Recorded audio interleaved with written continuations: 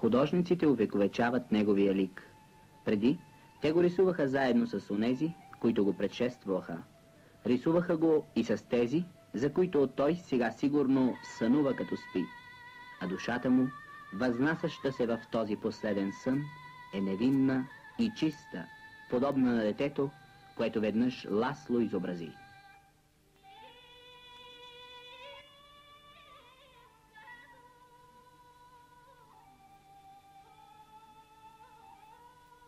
Скръпта се засвидетелства не само в цяла България. Въпреки войната, пратениците на множество приятелски страни пристигат от Европа, от Азия, от далечната империя на изгреващото слънце.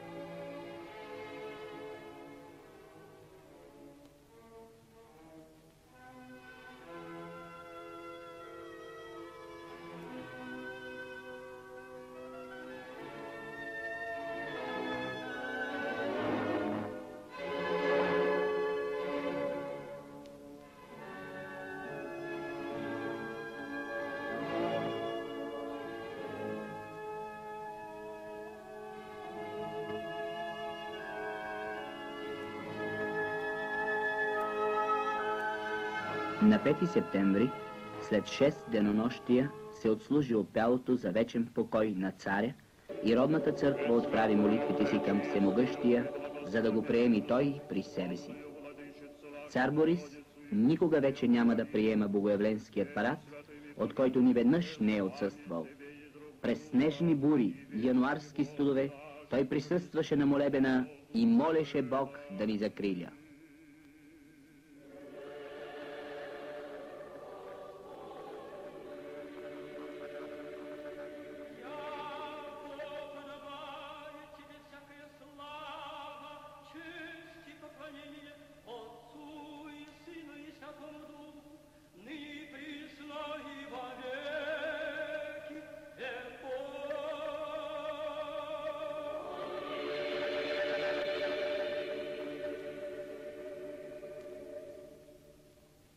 Свети Боже, Боже всемогъщи, Боже на праведните, приеми го при себе си.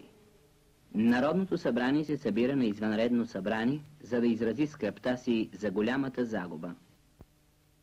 Под сводовете на Народното събрание все още се чуват стъпките на царя, а отвън сякаш пък ликува народът, който беше наскоро, когато той откри, съгласно Търновската конституция, последната редовна сесия.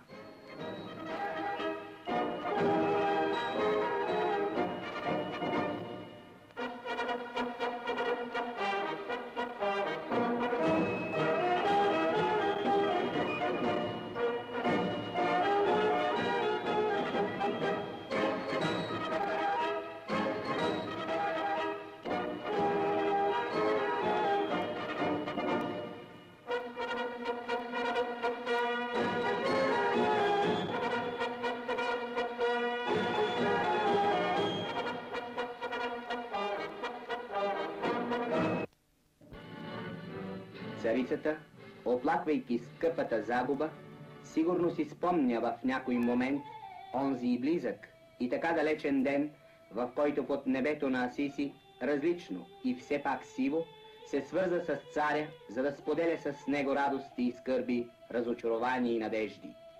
В онзи дъждовен ден народът повтаряше италианската поговорка «Измокрената булка е щастлива булка».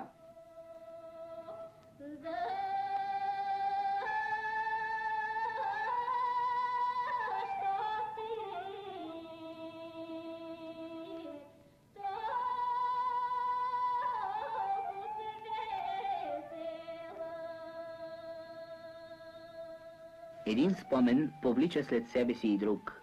И сега цар Симеон се взира в една любима скорошна снимка. Историята се повтаря. Небето е почти същото, но този път е слънчево. Този път няма дъжд.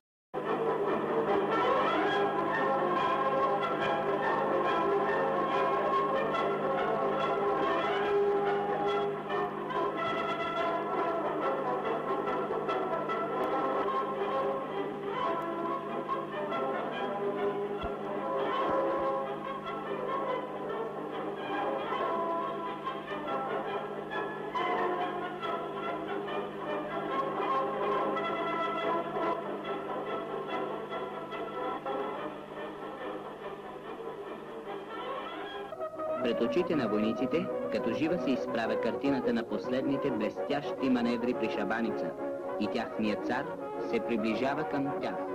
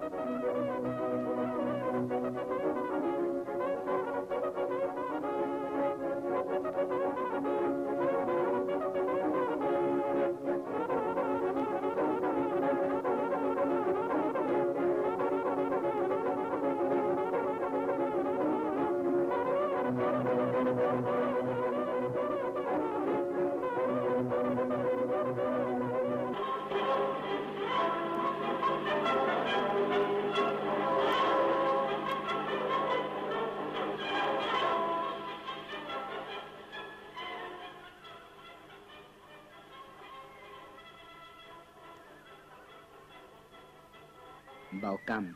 Любимият кон на монарха също се сбогува с господаря си.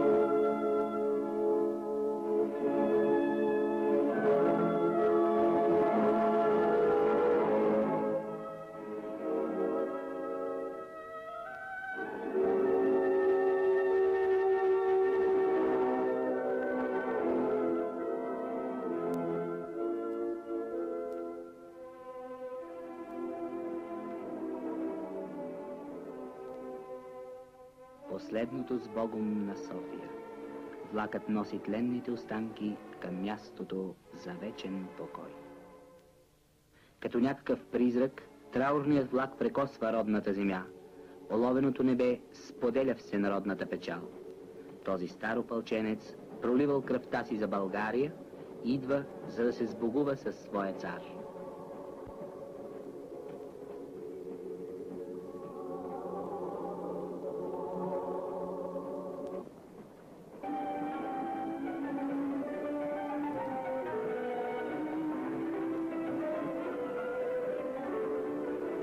Във всеки дом, като че ли има мъртвец.